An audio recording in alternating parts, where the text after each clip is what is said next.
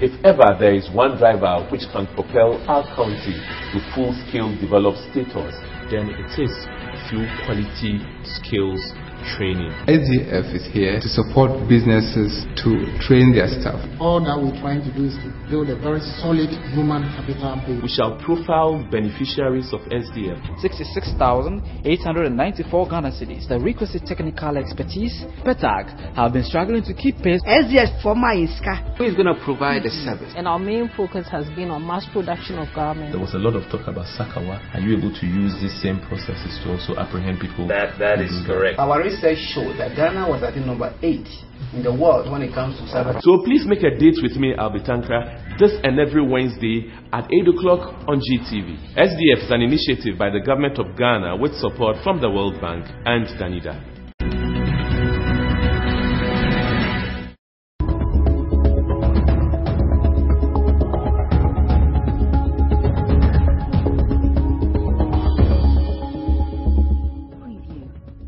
Today's knowledge based economy, what you earn depends on what you learn, says Bill Clinton, former US president. On this note, I welcome you to another exciting and revealing edition on SDF Diaries. Today, we laser beam on Ghana Technology University College. Yes, they were also beneficiaries of SDF. Today, we want to find out from them what has SDF done for them. We also, of course, we'll have uh, in our court here the fund manager from SDF. Want to find out from him what informed their decision to support Ghana Technology University College. Stick and stay with me, don't go nowhere. I'll be right back. Information technology has taken a center stage in the development of the private sector worldwide, and Ghana is no exception. The growth of many industries, including the service sector, has been IT driven, ranging from the development of the telecommunications, banking and finance, manufacturing, agriculture, construction, hospitality, and other sectors of the Ghanaian economy. One of the most important IT resources is the Internet. The Internet is an indispensable tool for the facilitation and development of businesses. It opens the door for international business transactions to be carried out from within a country without necessarily traveling to another country. One of the most important resources of the Internet is its use in facilitating financial transactions within the banking industry. The foundation of the Ghanaian banking system are built on cyber technology, comprising the Internet, intranet and other systems that facilitate efficient networking and communication. One of the key issues for the financial sector, especially banks, has been the security of their systems. This is more an issue in view of the proliferation of cybercrime in Ghana. We initiated a small project to look at cybercrime in Ghana. Uh, I think we call it Sakawa. You know, um, I think initially we wrote a proposal to one of the agencies, they didn't fund it and we decided to fund it in-house. And so we got some of our staff and some of our students to travel to different parts of the country, including Swedru, which I, I understand is one of the keys uh, Sakawa place in the country. Also like a research. Yeah, it's a pure, yeah, pure research. So we did that. And then in addition to that research, we also organized a few workshops. So we invited the police, the army, and a few of the private institutions involved in uh, crime to come. So we did that. So we did that, and then after about six months, when we finished the project, we also called them back and we presented our results. So I think out of that, we decided to expand this. So when we saw the SDF program, we thought a smart way is to actually make this cyber crime because our research showed that Ghana was at the number eight in the world when it comes to cyber crime. You know, which was kind of shocking because I think most people believe that here in Ghana, when there's a cyber crime, it has to do with Nigerians. But the research showed, you know, otherwise to some extent. And so we thought this is the right way to get the people of Ghana, to get the politicians, the leadership to understand that this is a crime. It's a big problem. It's a big problem in the country. We need to find a way. So we wrote a proposal when SDF came up with their uh, uh, RFP, we responded. Cybercrime takes place in various forms ranging from fraudulent internet practices, commonly called Sakawa, to the hacking of the systems of banks and financial institutions. In fact, Ghana is currently ranked 7th on the list of the leading countries with the prevalence of cybercrime worldwide. To effectively combat this problem, there has been the need for specialized skills training to ensure staff of institutions that have issues with cybercrime to undergo such trainings. The problem was the absence of a training module and curriculum that provides training in cybersecurity in Ghana. In view of this, banks and other financial and security agencies, including the Bureau of National Investigation and Ghana Police Service, spent huge sums of money to sponsor staff training in cybersecurity abroad. Apart from the huge cost involved, it also limited the number of staff that could access the training. Usually when we talk about cybersecurity, we're talking about computer security and that of information security. And with regards to this particular project, we're talking about whenever there is a computer crime or a crime that has been committed using computer or crime against information. Mm. And when we look at it, for instance, most of us think of when there's a hacking or any intrusion of any sort to computer.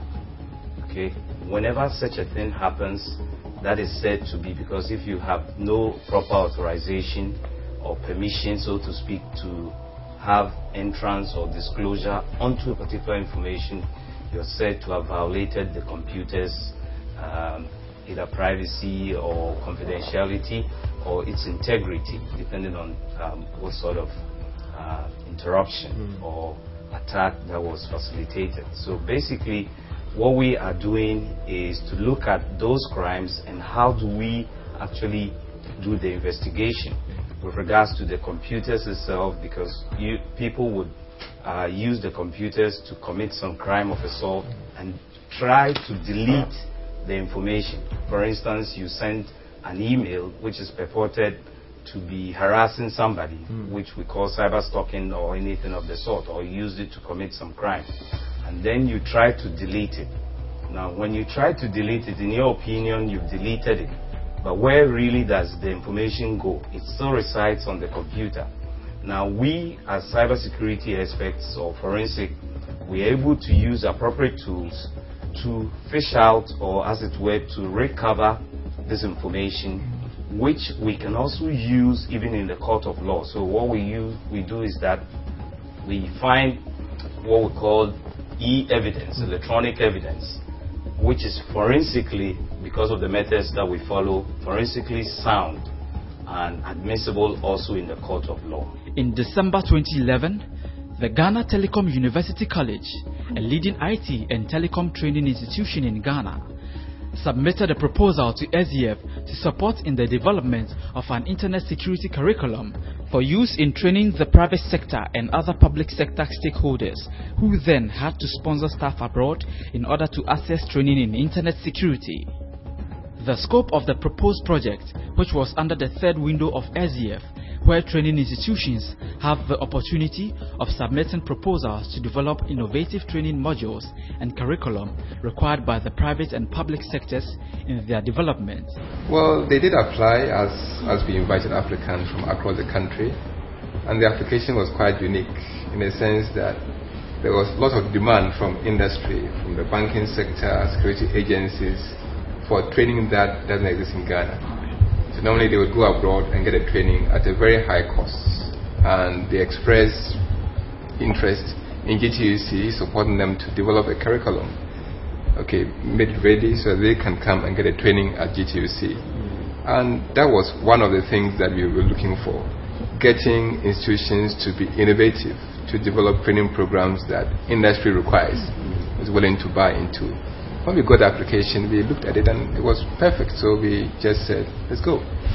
Okay, so it was unique, out of the ordinary.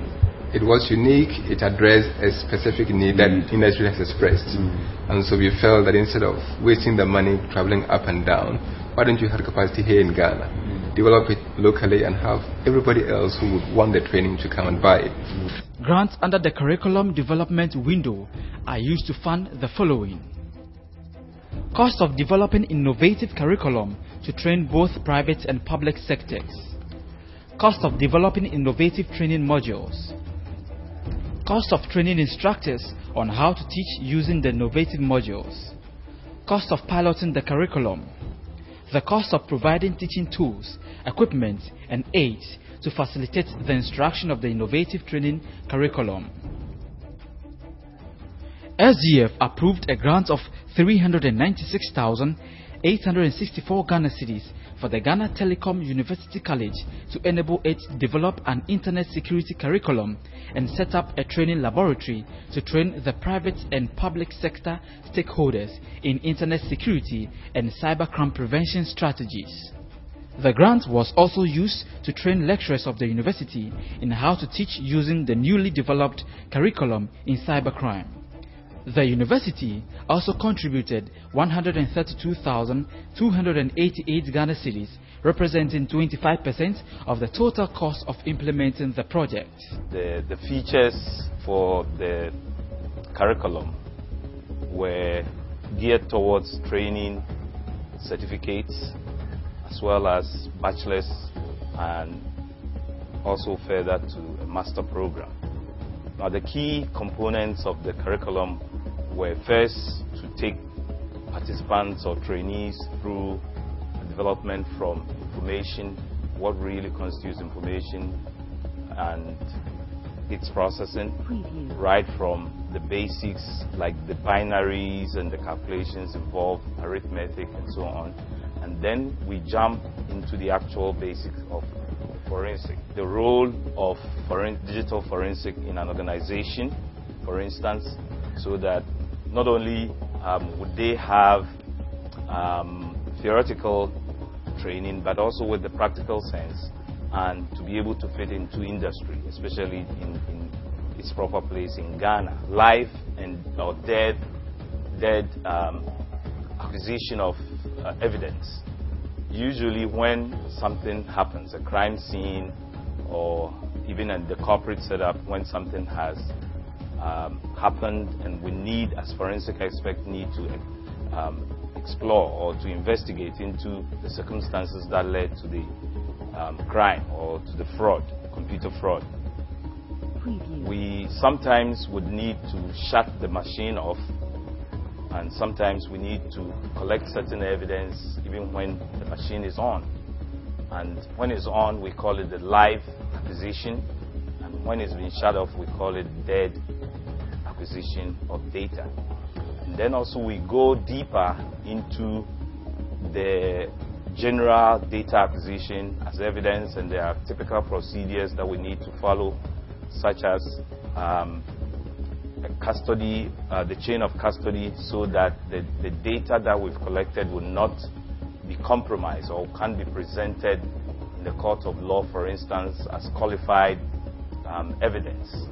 Today, the university has completed the development of the curriculum in internet security and network forensics.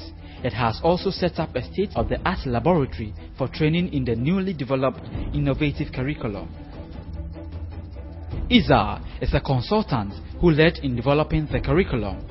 In a nutshell, the curriculum is geared towards training people at the certificate level, which could be a, a technician, and then at the engineer level, bachelor's, and a master level, which could take a managerial role in organizations.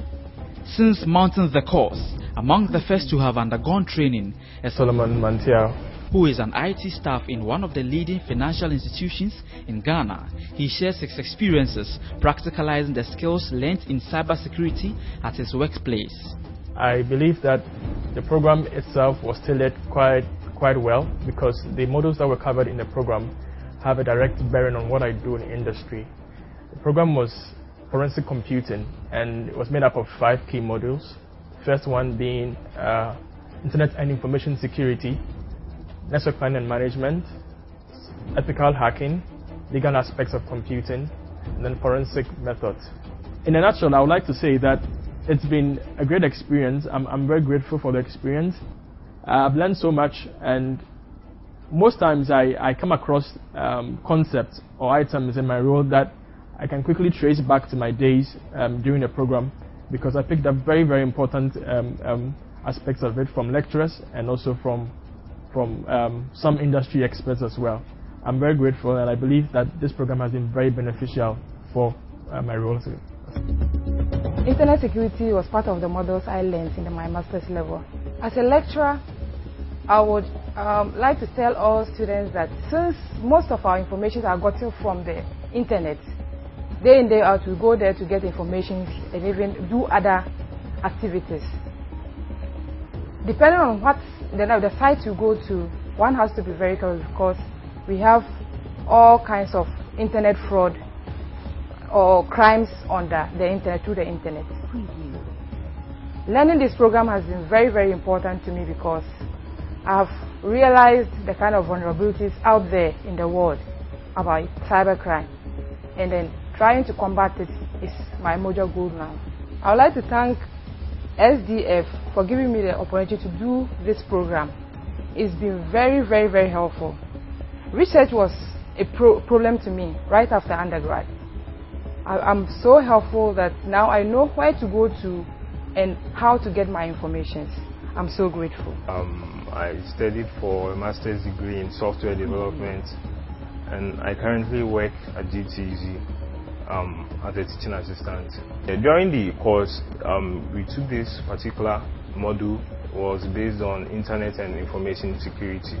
The course has actually helped me, um, you know, um, in a whole lot of aspects, not just software development, but then you know even how to think and you know in my lifestyle and all that. You know, I've learned um, that software design and then software development is not just about programming.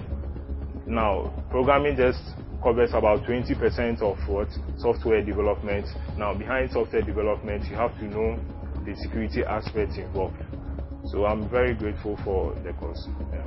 With a curriculum now in place, the Security Service is positioned to take advantage and enroll their staff, especially from the Criminal Investigations Department, to acquire innovative skills in cybersecurity and network